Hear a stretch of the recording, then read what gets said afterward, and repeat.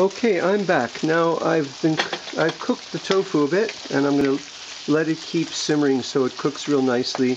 This tofu is now it's going to be more of a soft tofu. Uh, if I baked it, it would have gotten more crispy, so it'll be more of a soft tofu, which is fine with me. And now I am going to cook some, get some onions going. I need to add a little bit more oil. And so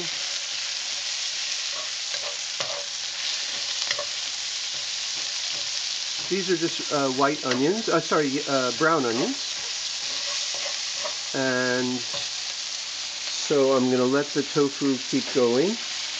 And next on the agenda is the eggplant. So I have strained the eggplant and you can look at how beautiful that eggplant is now and I've strained it and because the eggplant needs to cook for a while sorry I need to drain the last bits of water out of that eggplant.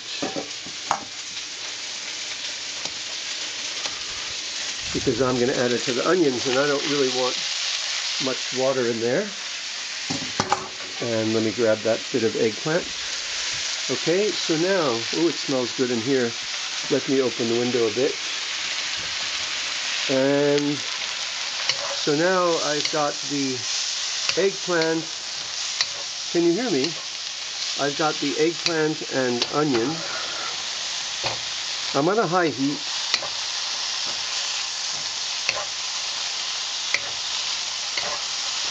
I've got the eggplant, whoops. I've got the eggplant and onion. And you know something you could put in this? That would be just fine, and I will do, is uh, some walnuts.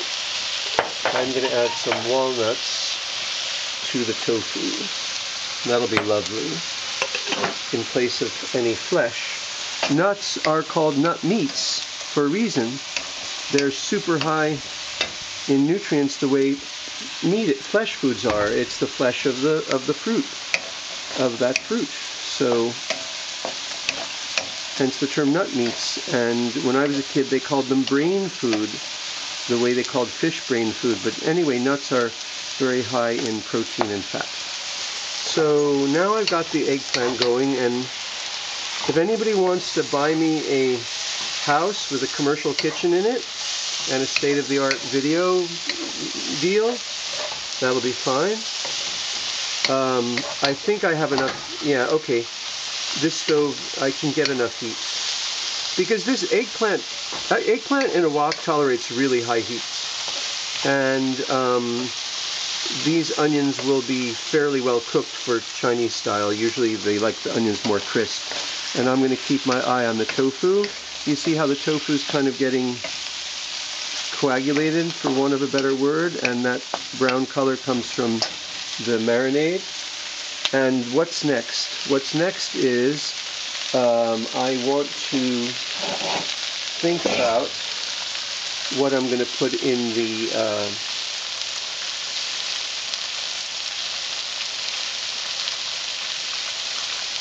I'm going to add the mushrooms to the eggplant. The uh, root vegetables I might have to cook by them separately. I'm not sure. I have to think about that because they just have a different, I don't want any, any water with them. So, um, but actually the, the, the lotus I'm adding to the tofu because that will take some of the water from the tofu and be happy about it.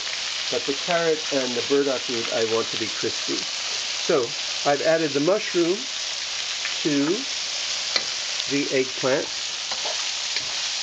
So we have onion, eggplant and mushroom, the maitake mushroom.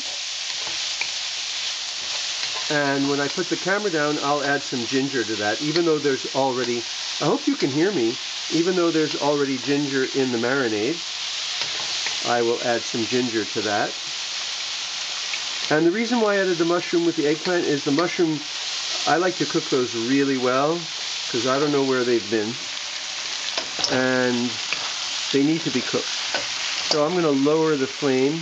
I have had this wok, this wok here, I bought in 1980. So what is that, 40 years ago? Because woks are like cast iron pans. They develop a carbon, whoops, I just lost one. They develop a carbon at the bottom, at the surface that makes it really easy to use. And you don't have to go out and buy new pots and pans. Your pots and pans will live long, far longer than you will. Don't forget, there's pots and pans from ancient times in the museum. Okay. Which is interesting because, let me not go on a tangent. Sorry, I was going to go on a tangent about bones and uh, metal, and I won't, and minerals. Okay, so the tofu's cooking nicely. The lotus root is cooking with it quite well. And um, I don't mind my lotus root a little on the crunchy side actually, but I, I, I am incapable of eating eggplant that's undercooked. So I will cook the eggplant until it's nice and soft. One of the advantages of having soaked it with salt water is that the eggplant cooks faster. And the Japanese eggplant, it, I also like it because it cooks fast. It cooks faster than the Chinese or American. Don't don't ask me why. You can ask. I can't tell you. All right, and I decided not to add any any garlic because I really liked the flavor of the marinade. I tasted some of the tofu, and the marinade was just fine. Okay, now here's what I'm going to do. I'm going to be sneaky and I am going to add the tofu and the mushrooms and lotus. I have to put the camera down. I'll be back.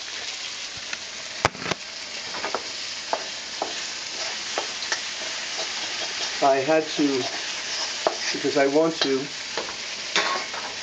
I want to cook the um, root vegetables by themselves in the smaller wok.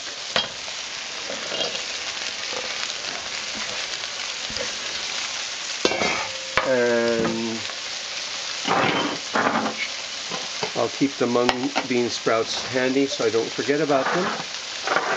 And I am going to add some white pepper at, towards the end.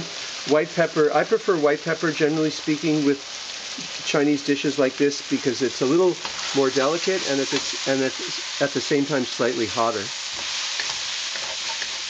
Okay, so here's how it's starting to look, kind of like mapo tofu. This is the kind of uh, dish that will go great with a green vegetable cooked separately.